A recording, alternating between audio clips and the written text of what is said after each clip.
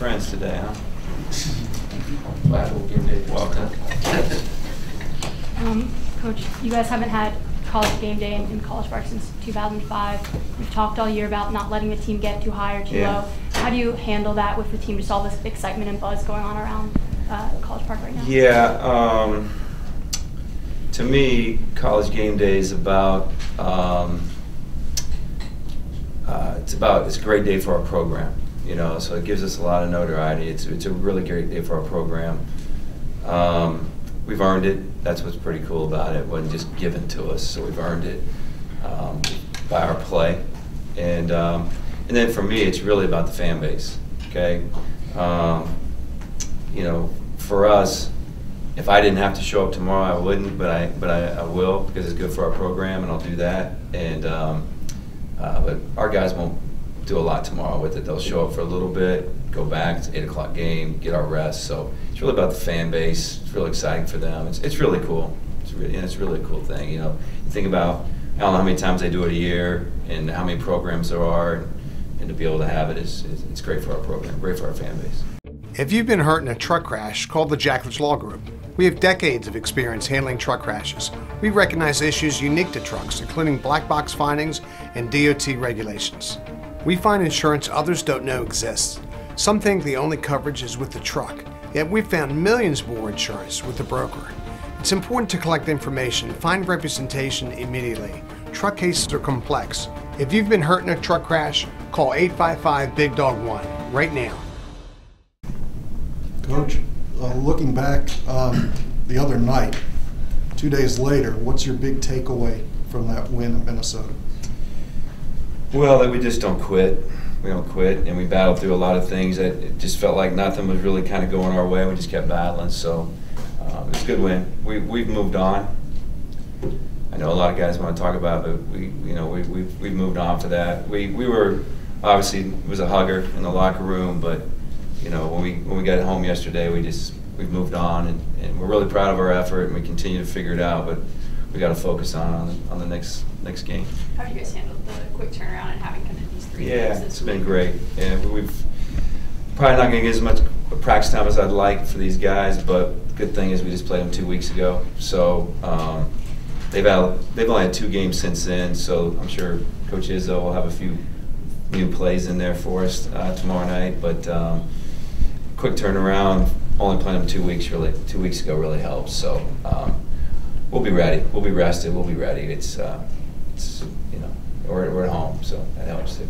Mark, given between the last game and even going back to that Indiana game on the road last month, how happy have you been with how you guys have handled end game situations, and how much time do you guys spend on those spe- specific Yeah, not as much as you'd think, but um, we practice every day of being a great defensive team and a great execution team. Really, that's what it comes down to.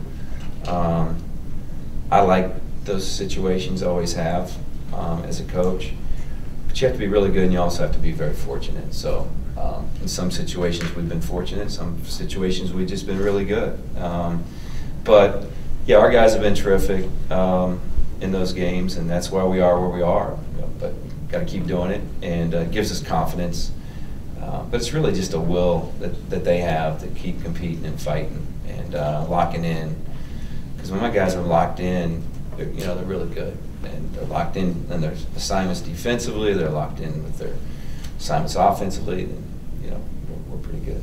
Mark, with it being Cowan, Stix, Darryl Morsell, it doesn't matter if it's the last second shot. It seems like you trust anybody on your team to go and make that shot. How do you build that trust over the season, Yeah. continue it moving forward?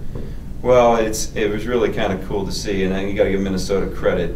They guarded Anthony well, and then they guarded Wiggs well. Those are the two you thought were going to shoot it, and they both gave it up. And Darryl stepped up. Our, you know, and, and you, Eric Ayala has made big shots in his career. Wiggins has made big shots. Donta Scott made some incredible big shots in that game the other night. So, just just who our guys are. We, you know, we're a pretty balanced team, and, and we have confidence in everybody, and we try to go to certain guys through our offense. But it's really hard this time of year to run a play and have it work because you're so well scouted. So it really comes down to guys just doing stuff out of your offense uh, to make plays. But we're confident. All our guys are confident. With kind of where you guys are in the league and, and knowing you could clinch clinch a title. I, I know you guys probably don't talk about it, but the guys are smart enough to know Yeah. it's there. How, do- how do you manage? Well, that? we, we're gonna handle it the same way we've handled everything. It's about Michigan State. We, we don't get too high, we don't get too low.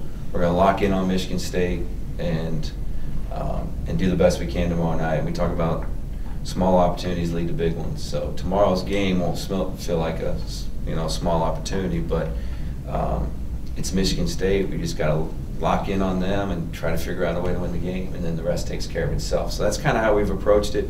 We don't talk about it. We're all aware of it, what's going on.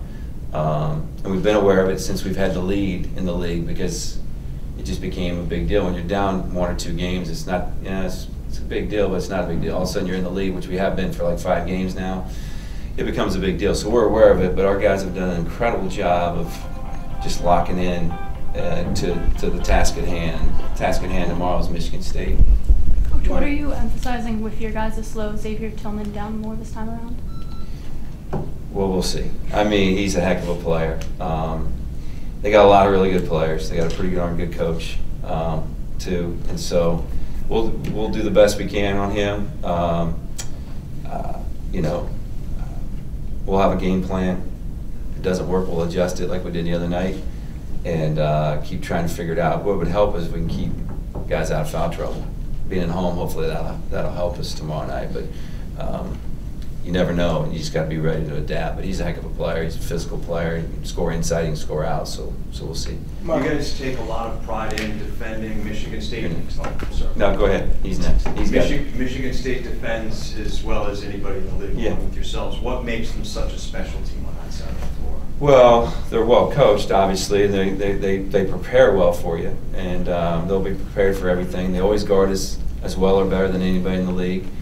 Um, and they have smart players. You can you have to have smart players to be good on both ends of the floor, and um, they have intelligent players that, that do a good job of adjusting and recognizing situations and, and doing it quickly. So, um, and you know they work hard at it. You know, and they're physical at it, and, and so it's.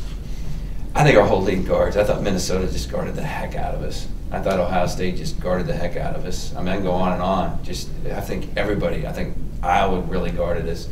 So it's just, it's really good coaches with really good players. It makes it hard. But Michigan State, you know, year in and year out, is one of the tops for sure. Did you, two more guys. Did you uh, happen to see Chris Holtmann's comment last night Yeah, about the nine? I heard about it. Yeah, good for him. Me making fun of me. He was mad at me, so that's all right. Hey, I deserved it. Coach, what does it mean for you, not only the support you get here from the crowds, but to have your players know that a family of six drove eight hours to see you guys play in Minnesota, and, and the guys were able to, to get together with them the? Yeah, I mean, a family of six, and the oldest was like eight. You know, so I looked at the mom and I'm like, "You're going straight to heaven. Like, you're, you're incredible. This is." And she she looked tired, and it was a late game, and she was they were waiting for us. So I was like, "Are these all yours?" And um, no twins. Uh, it was pretty amazing. But yeah, it's just you know, when you go on the road, you see that a lot. People go out of their way to three hours, four hours, eight hours is a lot with that young family. Hopefully, they spent the night and went home the next day. But didn't look like the mom and the kids had much much of a choice. The dad was making sure that worked. So he's it was it was cool. I'm glad our guys got to spend time with them. Thanks, coach. That it? All right, good.